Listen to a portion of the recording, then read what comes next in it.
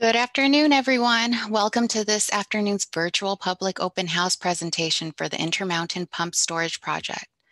Located in Utah near the cities of Delta and Oak City and in close proximity to the existing Intermountain Generating Station. We appreciate everyone who has joined us today and it looks like we have a good representation from the community and various government agencies in the region.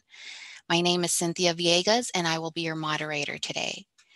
We will be doing some additional introductions in the slide deck today, but at this moment, I would like to introduce Premium Energy's Managing Director, Mr. Victor Rojas, who would like to say a few words.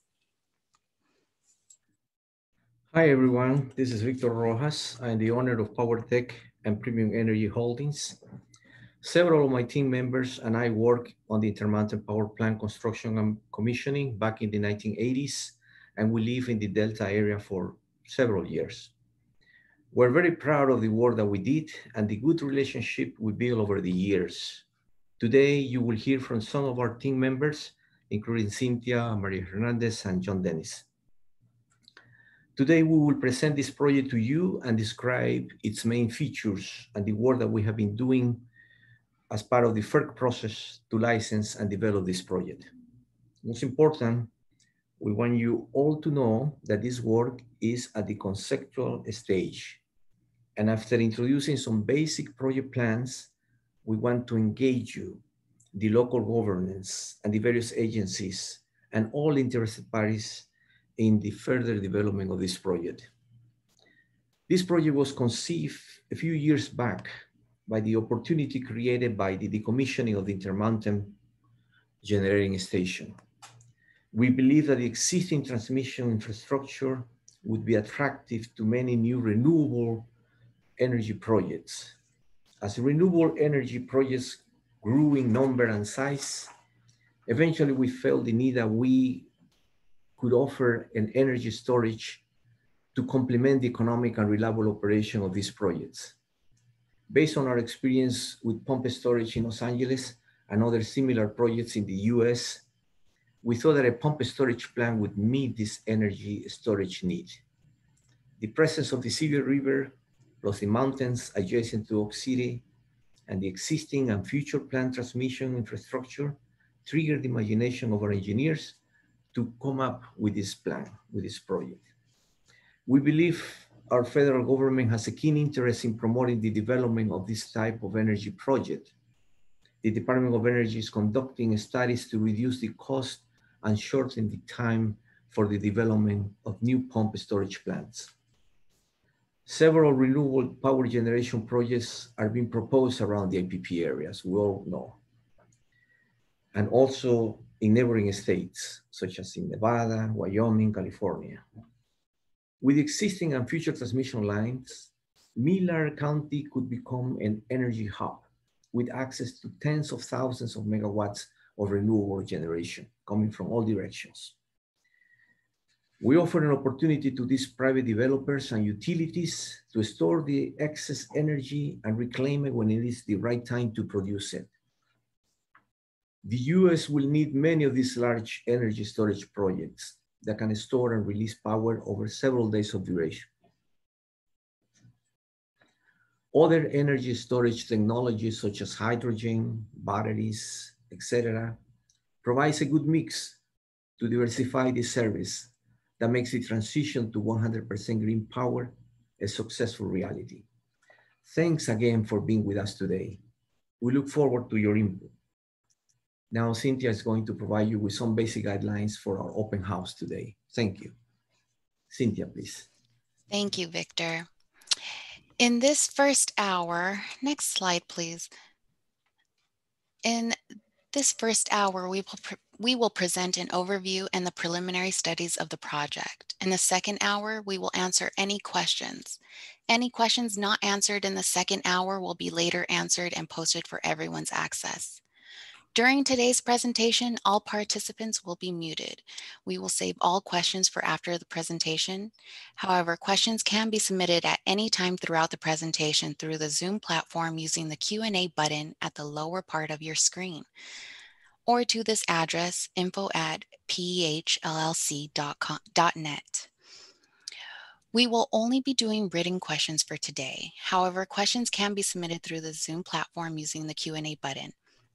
Again, questions will be answered at the end of the moder at the end by the moderator and will be answered by the panelists when possible. Here are the ways that you can monitor the status of the project and contact us. And just a quick reminder to everyone to keep your mics muted during the presentation. Next slide, please. This is the agenda for our time together. We will share a brief overview of the FERC licensing process and then describe what a closed loop system is. Then we will provide a project overview and jump into some of the preliminary studies and some of the work that is being conducted right now, as well as plans for future work. And finally, we will move into the Q&A section. And with that, I will go ahead and turn this over to our first panelist, Maria Hernandez, our operations manager, to provide more information about the organizations involved developing and engineering this project. Okay, thank you, Cynthia. Good afternoon, everyone, and thank you again for joining us. This pump storage project has been developed by Premium Energy Holdings, Premium Energy Holdings has been in operation since 2010 and is dedicated to the development of renewable energy projects, mainly solar and pump storage hydro. Premium Energy Holdings currently has five preliminary permits from the FERC and is in the process of securing three more preliminary permits. Power Tech Engineers, is an engineering company that has been in operation since 1992. Many of their staff members are former LADWP engineers and professionals. PowerTech provides power engineering services to several util utilities in Southern California, Florida, and throughout the United States. They have experience in generation, transmission, power distribution, substations, and generation, including solar, wind, hydro, and gas. WAPCOS is an engineering and development company that has been in operation since 1969 and belongs to the Government of India. WAPCOS has extensive design and development experience in power projects, and they have a strong experience base in pump storage projects with 12 pump storage projects over the past 10 years. On the Zoom call today, we have several of our management and technical staff members joining us to hear the presentation and address any questions you may have. Included Today we have Victor Rojas, John Dennis, and Bruce Hamer from PowerTech. Victor and Bruce were involved in the design and site construction management of the Intermountain Power Plant in the early 1980s. So as you can see, our project members have some great fondness of this region. They know the community and interest in its continued well-being. Bruce Hamer was not only on the IPP site for its construction, but he was also involved in the engineering and construction of the Castaic pump storage plant for the city of Los Angeles back in the 1970s. So we have an exceptionally good design team for this project. They know the area and they know the technology. With us today is also John Dennis from PowerTech, who has been building and managing large power projects for 38 years. John has extensive experience in hydroelectric and pump storage projects, as well as power system planning. On this next slide, highlights the Federal Energy and Regulatory Commission's licensing process for projects such as the Intermountain Pump Storage Project. Under the Federal Power Act, FERC has permitting and licensing jurisdiction over hydroelectric projects such as this project. We are currently in the preliminary permit stage, which is conceptual engineering. FERC preliminary permit does not authorize construction during this phase. The preliminary permit allows the developer to analyze the site and engage stakeholders for feasibility of the project. During this phase, the applicant files periodic status reports on the studies that will be performed. The preliminary permit can lead to licensing of the project. There are several processes that FERC allows to obtain the license. Premium Energy Holdings will be following the integrating licensing process, the ILP, which provides a predictable, efficient, and timely licensing process to ensure adequate protections of resources. In brief, the ILP allows for the early identification of any major issues and identifies the studies that are needed for the project. It recognizes the various project stakeholders and interested parties and integrates the various permitting processes. The ILP also sets timeframes for each step. This keeps the developer, stakeholders, and FERC all working together in a timely fashion. This open house is part of the ILP process to provide an overview of the project and identify the stakeholders and their various interests. A little later in our presentation, we will share the project timeline and a few more parts and pieces of the licensing process. Now, John Dennis will be providing the project overview. Next slide, please. Thank you, Maria. Pump storage is a method to store energy by pumping water from a lower reservoir to an upper reservoir.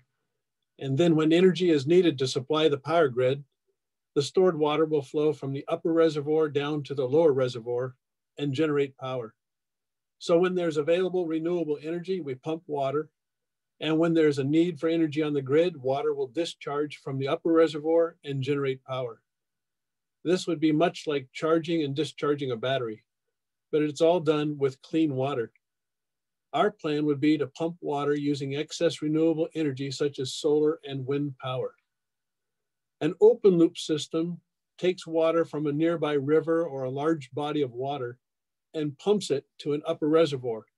Then water is released from the upper reservoir, generating power, and the water returns to the river or large body of water. This would be an open loop system. A closed loop pump storage system recycles water between the upper and lower reservoirs. In this case, we will try to maintain separation from the Sevier River so that it will work as a closed loop pump storage system. Intermountain Pump Storage Project is a closed loop system, meaning that we will take some water from the Sevier River for the initial reservoir fillings. Clearly, we'll need to work through all of the local water agencies. Some are represented at the meeting today uh, for this water, and perhaps we can find some mutually beneficial uses, such as more water storage. Once filled, we would no longer be connected to the Sevier River for cycling of water. This body of water is in a closed loop system, continually moving up and down from the lower reservoir to the upper reservoir, up for pumping and down for generation. This is ideal in maximizing the use of clean renewable energy, especially when power is needed at night.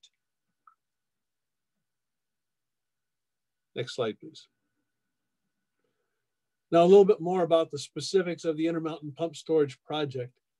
Premium Energy Holdings submitted an application for a preliminary permit from FERC, and we received approval for the permit from FERC on December 18, 2019. The project has a unique identifying number of 14993-000 so if you would do a Google search of the words FERC license and this number 14993-00, you should be able to quickly find information about the Intermountain Pump Storage Project and its current status. Or you can see it on our website as was noted at the beginning of the presentation. The project is rated for 12 hours of continuous operation that could produce 24,000 megawatt hours, which is 12 hours of 2,000 megawatts of operation and with some backup for as much as 24 hours. As previously mentioned, the existing operation is a closed loop and water is cycled between the upper and lower reservoirs. The 2000 megawatt power plant consists of four turbines of 500 megawatts for generation and one additional turbine of 500 megawatts used for pumping. In this diagram, you can see one of the possible alternatives for the lower and upper reservoirs. As mentioned before, the lower reservoir is separated from the Sevier River. Water will be pumped through the powerhouse to the pressure tunnel and then pumped uphill to the upper reservoir. For your reference, some approximate elevations are shown on the left side of the graph and distances are shown on the bottom of the graph. Now Victor Rojas is going to share some key features of the project.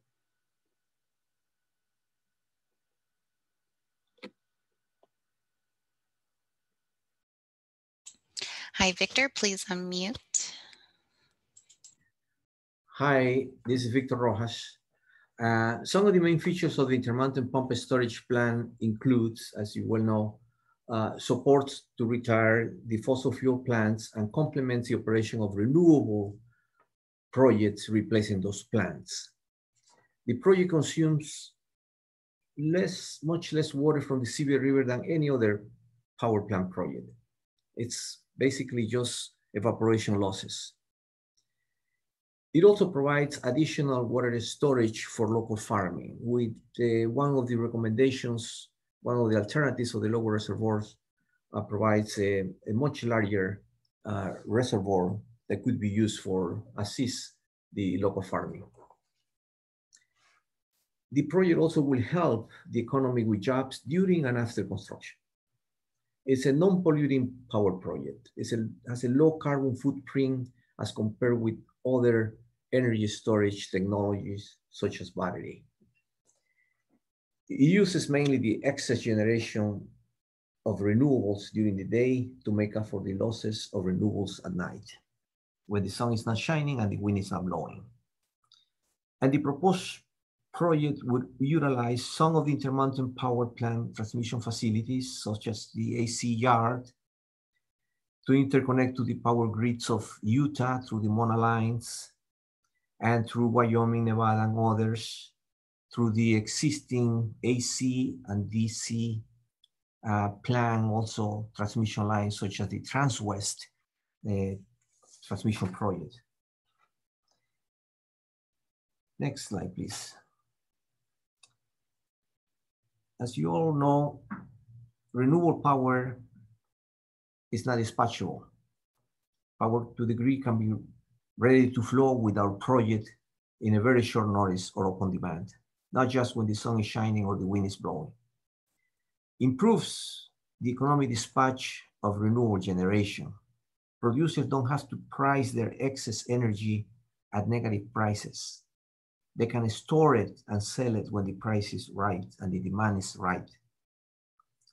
Also, sometimes wind or solar power is described as variable, intermittent, or semi-volatile.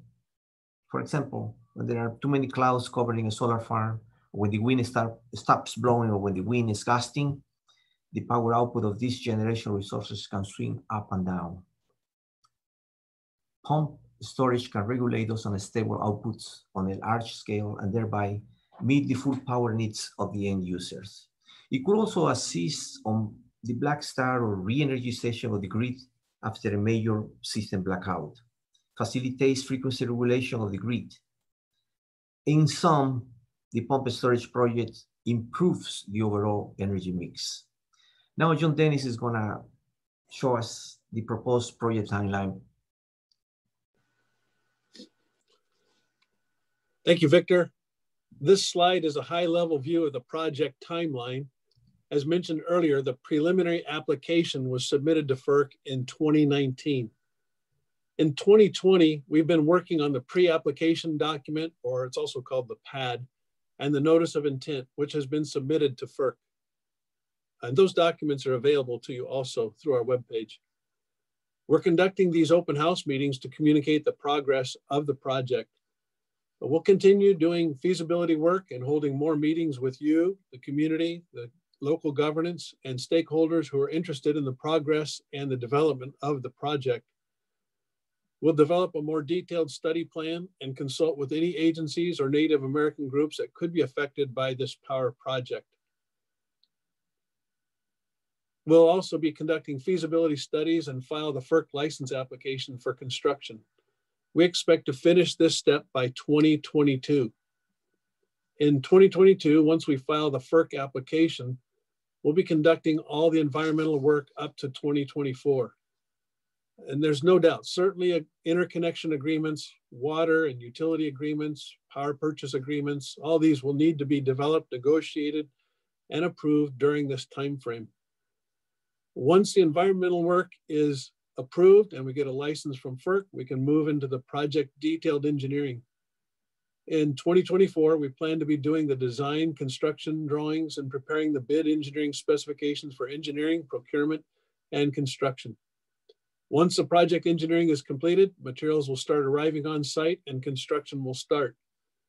We expect construction to be completed by 2027. We'll start commissioning units as they get completed and we expect full commissioning to be complete by the end of 2028 and the plant will be placed in commercial operation. Next slide.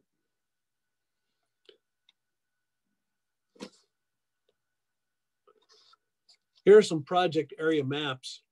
The project is located in central Utah in the northeast part of Millard County. The closest cities and towns are Delta City, Oak City, Leamington, and Lynndyl. Also, we can find the DMAD Reservoir in the Sevier River. On this map, we're also showing three lower reservoir alternatives. And again, these are alternatives for lower reservoirs. One is the proposed DMAD 2 reservoir. The other is a proposed Oak reservoir. And the third is a proposed Sink reservoir. And then off to the east, we also show three alternatives for the proposed upper reservoirs, including the Dry Fork, the Mill Canyon, and Williams Reservoir. Again, these are alternatives that are being considered in this study. Next slide. Here in the slide, we're presenting three alternative lower reservoirs with some of the characteristics on the right side of the slide. The first one could be like the existing DMAD reservoir with an estimated area of 30,000 acres, an estimated water storage of 49,000 acre feet, and a 4,700 foot maximum elevation. It's possible, even as we work through the negotiations and local discussions, this configuration to be an open loop system. That is a possibility as we discuss that more.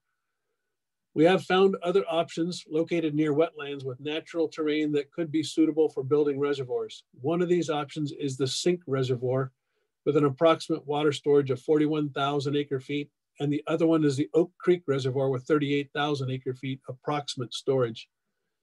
We've estimated the preliminary shapes of the reservoirs, but the shorelines may look a little different than what we have shown here. These are just some approximations.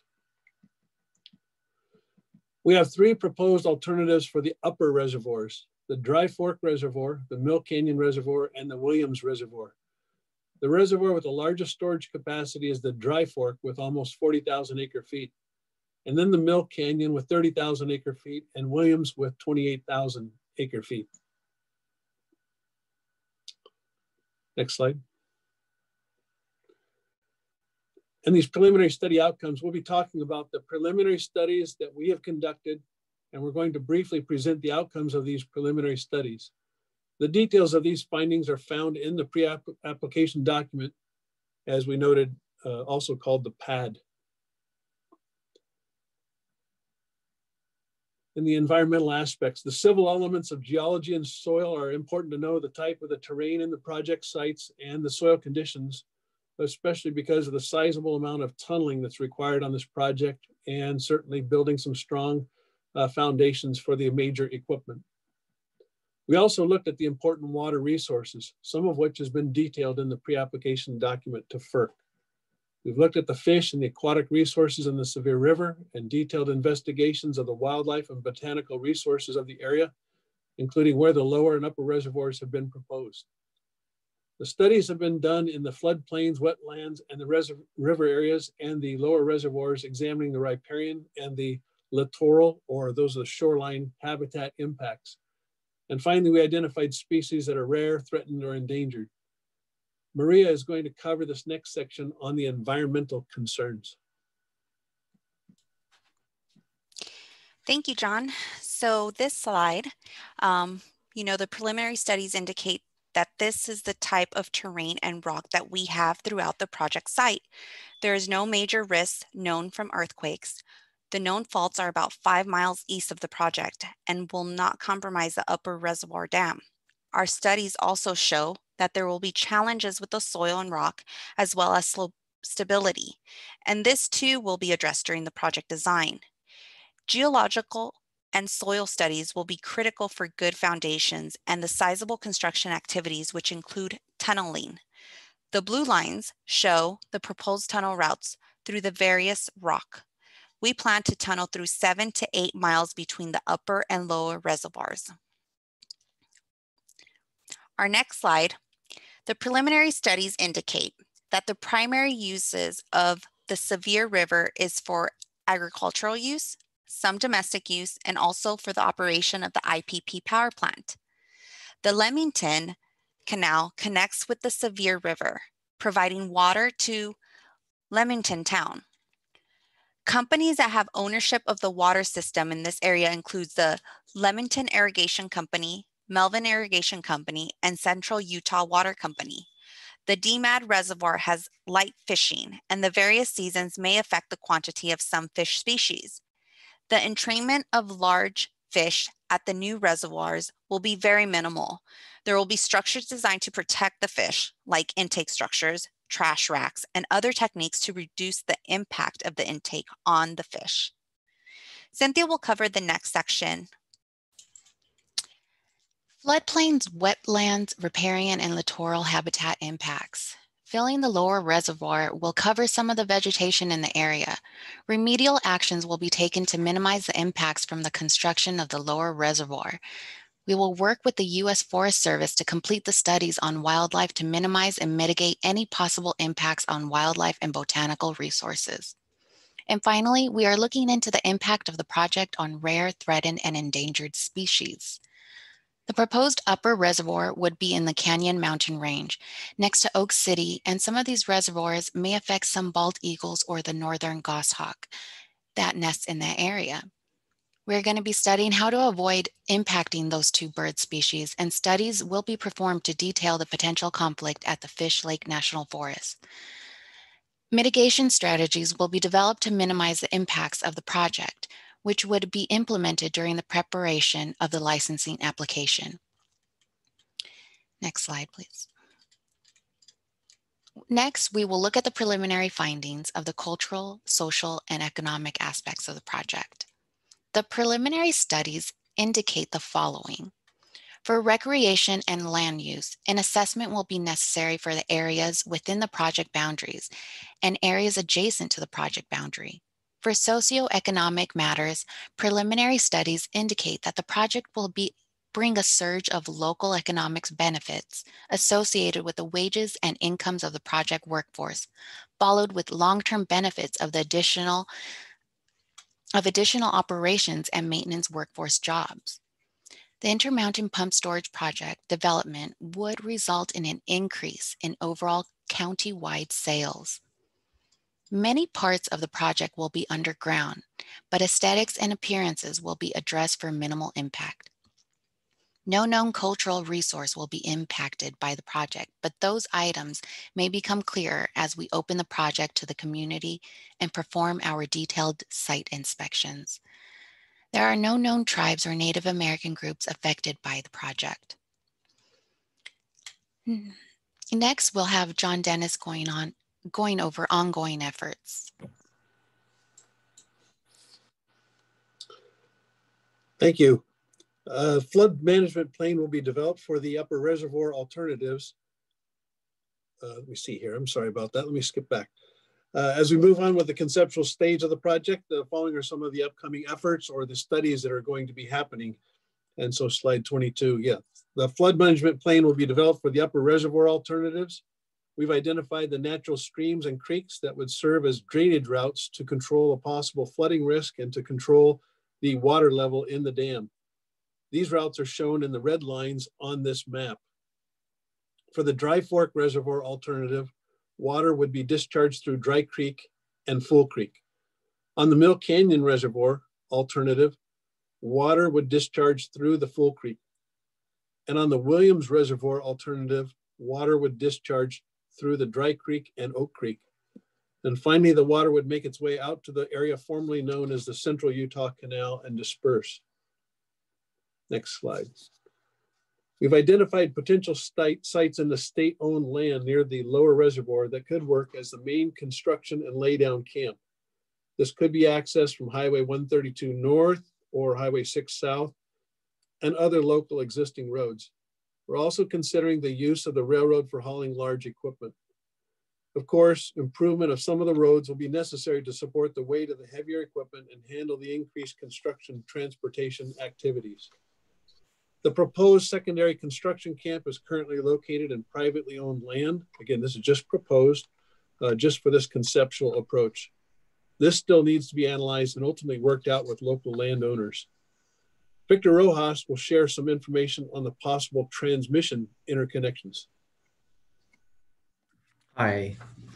Um, as far as transmission interconnection goes, uh, the green line represents the proposed 345 kV AC tie line for the project that runs from the proposed powerhouse for the Intermountain pump storage to the Intermountain AC switcher uh, following the Brush Wellman Road. The line shown in yellow and orange belongs to the, the future transmission project by Transwest that we have considered in the, uh, in the economic analysis of this project. Uh, the other lines shown are existing, the MONA lines um, that connects IPP to Utah. And of course, the, the DC line going to Adelanto. Uh, so this is a conceptual sketch of the transmission system surrounding the uh, power plant. Next slide, please. In this slide, we'd like to give you an idea of, how we conceive the pumping operation for the plant will work. Okay. Um, we have sketched the major transmission projects that are involved, including the future transmission lines from Transwest. And uh, we're considering power opportunity for storage coming from the existing solar project developers that are in queue for interconnection to the AC switcher. We got 2000 megawatts of solar projects that are, that could be, they could find a good fit for storage in our intermountain pumping plant. We also have opportunities for storage coming from the Wyoming project. And the Wyoming project could also use our project for storage for their excess. There could be also opportunities for renewable projects throughout Utah, Wyoming, and Montana, other areas to the east of the project that could come through the Mona substation, could reach our pump storage. And finally, we can also receive uh, or offer services to the renewable projects down in the southern tip of Nevada, uh, where we have a, a huge market of uh, renewable projects They could also consider our pump storage as a place to store their excess energy. So you can see there is a lot of opportunities for uh, usage of our pump storage. Now we're going to consider the generation mode. In the generation mode, of course, we're going to be discharging power. Uh, and uh, again, we can serve Utah through the Mona substation and Idaho and any other place where the clients wants their power to be dispatched. Of course, the clients will have to make their own transmission agreements. We can also serve the Southern California municipalities through Adelanto, if there is any interest from the uh, municipalities. And we can also serve uh, the big CAISO Nevada market uh, if we tap onto the capacity, available transmission capacity of the uh, Transwest line to Southern Nevada. So as you can see, we have access to a big market of a power load that our project could um, serve. Now, I would like to have Mr. John Dennis talk about the cost, the levelized cost of storage for our project. Thank you, Victor. Uh, on this slide, it's a bit of an eye chart, but let me just go through the details from the top to the bottom. We'll briefly show you our levelized cost of storage analysis for this project. The levelized cost of storage is a financial economic analysis that establishes the cost we should charge to store energy produced by others. Basically, we're just a large warehouse that offers energy storage service. It could be for anybody in the local region or throughout California or Nevada, uh, Wyoming, but to offer this energy storage service, and we offer this service to anyone, utilities, independent power producers interested in storing their energy to claim it back later. This study also allows us to compare the cost of our project service against other storage technologies, including other pump storage projects. We're, we are at a conceptual stage of the project, so our numbers could change, but we're working on the presumption of certain project features that could change as a project is further developed during its feasibility phase. At the engineering stage of our project, we're still using a high level cost estimate. However, we've designed a financial model that has allowed us to estimate very competitive prices. We believe our costs are competitive against battery storage, especially for extended periods such as 8, 12, and 24 hour durations. The overall life of the pump storage plant far surpasses the life of batteries. A pump storage plant could last even 100 years, as demonstrated by so many hydro plants in the world. Pump storage is efficient, reliable, economic, and it is a well-proven technology. As we can see in the chart from our economic study, we present two pricing structures. The first pricing structure is for the event. The business structure is a build, operate, transfer, BOT, for the storing of energy from the future owner. This business structure could be attractive to a utility or a very large independent power producer. Depending on the final payment for the transfer to the new owner, the cost of service per megawatt hour starts from as low as $11 per megawatt hour if we consider a project life of 50 years. And as we said before, these hydro plants could operate for a century. We believe this project is a good fit for utilities such as Southern California Public Power Authority or PacifiCorp and many other energy providers in the West. In our model, we've used 25, 40, and 50 years. If we transfer ownership of the plant after 25 years, we could offer a price in the range of 35 to $45 per megawatt hour. And if we transfer ownership after 40 years, this price range could drop to 20 to 40 megawatt dollars per megawatt hour. And if we transfer ownership after 50 years, the price we can offer could reach the range of 11 to $18 per megawatt hour. On the lower portion of the slide, the bar graphs on this diagram show an apples to apples comparison of storage costs for pump storage and battery storage without the build, operate, transfer financing. These charts are provided from some recent independent studies out of UCSD that was uh, released on May 21st, 2019. The key author there is David Victor and others.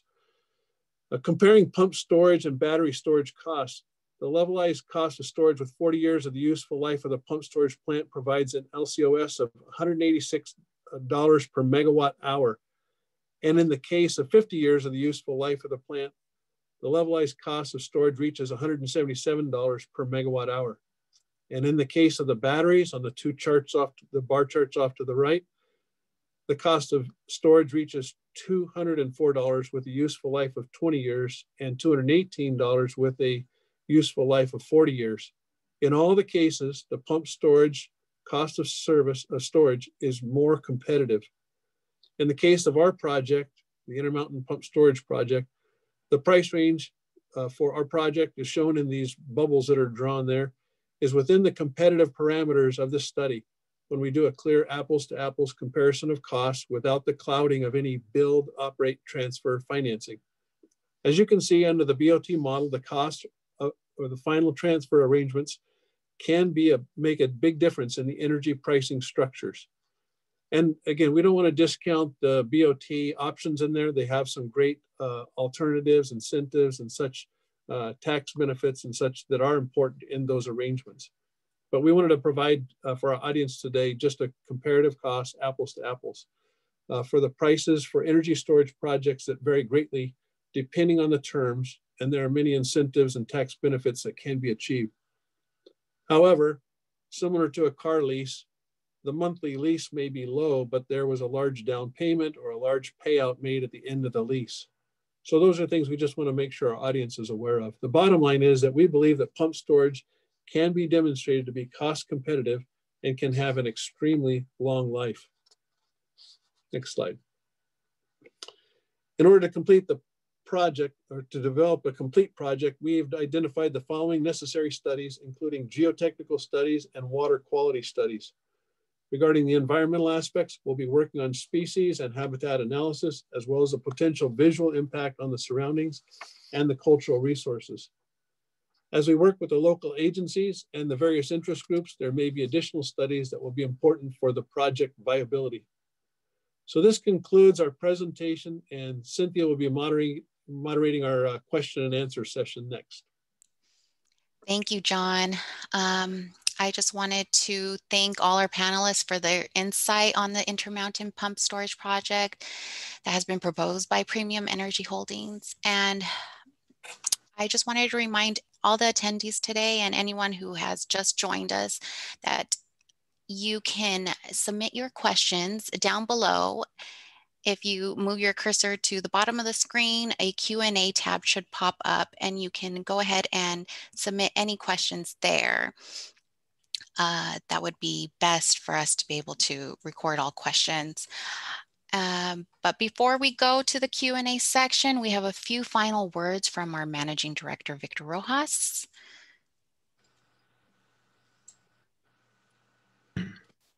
Hello, everyone. Uh, I'd like to thank you for attending this open house today. Our intentions are sincere in providing the Millard County with another power project that will, be, will benefit the environment and provide great job opportunities for the community. We're driven by the interest to complement the great energy hub business development that is starting to spring up in your area. I believe we can work together with other projects providing renewable energy storage services. There is work for everyone we also feel part of this community. We lived there during the construction of the Intermountain Power Project. We have our kids there during the project. And I spent most of my life personally at LA Water and Power overseeing the operation and the maintenance of this power plant. So we feel an affinity with this place. Also, Premium Energy Holdings wants our audience to know that as we move through the development of this project, we will always include you, the community, in our decision-making process for the design of this project. And we'll always be looking for all possible ways to benefit the community. This project is mainly driven with the desire to connect and to cooperate with the energy transformation that is going on right now in our country and with utilities in the West. We'd also like to connect with large renewable power developers, such as the wind project in Wyoming, this could be an excellent fit for the project operation. This project is your project, the project of the community, the project of the developers. Let's work together on making this a reality. I thank you again for joining us to, in this open house, and we look forward to future meetings to work together as we develop this project. Thank you very much. Thank you, Victor. Um, we haven't received any questions. We're going to take a few moments to allow you to go ahead and go to the Q&A tab and submit any questions you have. Um, I'll give a, a minute or two for that. Uh, Maria, I, I saw one that came from Eduardo Salgado yes. uh, with regards to a 100 megawatt uh, reference plant. Yes, we have that in the queue. Okay, let me just uh, share uh, real quickly about that if I could. Um, there are uh, several large 100 megawatt storage plants that are being sprinkled around the West Coast area that are being proposed. Uh, they're working on some pricing, some construction. We know of some of those in the uh, South, uh, Southern California area. these have some particular niche. They, they meet some local regulation interests. Um, but again, we don't want to disparage those. We think that uh, all these energy storage projects have some unique applications and capabilities. Uh, but what we'd like to say is that while there's a 100 megawatt plant that has perhaps four or maybe 10 or 12 hours of operation, that might have energy storage for maybe a thousand megawatt hours or 1200 megawatt hours of storage. But uh, if we're going to increase the renewable energy resources above the 50, 60, 70%, we're going to need larger storage than that. And so it's very, very important as we look at this. Um, there's a uniqueness of the batteries. Uh, the concern is that after perhaps 10 or 12 years, you have to replace the batteries, uh, and there still are some uh, lithium ion, some chemicals that need to be dealt with. Uh, we see also the advantages of the pump storage being a clean resource. And largely uh, where we see that fitting into the mix is that you have some large scale uh, energy storage, not just uh, thousand megawatt hours, but we're talking in the range of 12,000, 24,000 megawatt hours of energy storage. So this could meet some large needs in the West, in the Western grid, uh, as we increase renewable energy. And the, I got to tell you, as far as my experience with pump storage, and seeing an energy planning. I appreciate the pump storage even more because it's basically it's concrete and steel and water and some really smart people that operate the facilities and, and run them. Uh, and you've got a really good mix uh, that happens. And then there's some mutual benefits that occur in the community with uh, reservoirs that are built. So anyway, that's a, a summary or quick note, but if we've uh, Eduardo, if we have some specific articles that we can point you to with regards to the uh, BOT information for a 100 megawatt plant, we'll send that to you as a follow-up. Thank you, John, for that. Um, so we did receive a question and I'm going to read it. And here we go. Will the maps and other slides be available that we could distribute to our local biologists for comment? Uh, the answer is absolutely yes. Uh, we want you to use this as a resource. Um, we want you to know, uh, especially for the community, those people that are interested in the project and the impacts it might have, uh, that is the purpose of the ILP or the integrated licensing process. It's so we can identify any key issues early on, uh, communicate with you. Unfortunately, most of these times we would do these open houses right there with you and right in the community, but this is COVID related stuff. And so we're, uh, we're remote, uh, but uh, we would like to have the community participate in that. So go to the Premium Energy uh, website and uh, that's listed here and get the maps and the information that we've shared. Also the uh, PAD and the NOI, the uh, pre-application document and the notice of intent has information that's pertinent as well that'll be helpful to you. So with that, when we identify those major concerns, it may identify then additional studies that are necessary as we move towards the licensing process. Thank you, John. Uh, any other questions? While we're waiting uh, just a moment, I would just say is that we noticed from the uh, the list of the participants, we have a lot of uh, local uh, agencies, water companies. Uh, we have several of the districts that are represented. We have some of the natural resource agencies that are represented there as well. And uh, we'll be reaching out to you as we look at the um, integration of any permitting process as it would tie into this particular project. Again, that's part of the ILP and the outreach efforts that are there.